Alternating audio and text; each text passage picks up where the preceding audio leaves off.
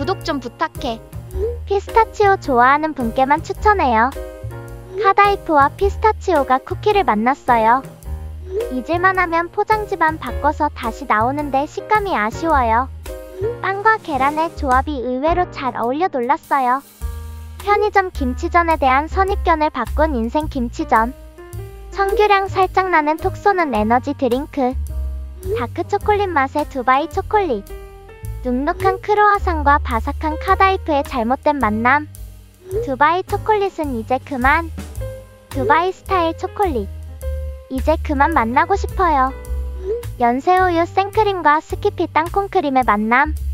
게맛살 가득한 짭짤한 유부초밥. 연새우유와 스키피 피넛버터가 떡과 만나 맛난 디저트로 변신. 비슷한 가격대의 한솥 도시락 드세요. 구독 좀 부탁해.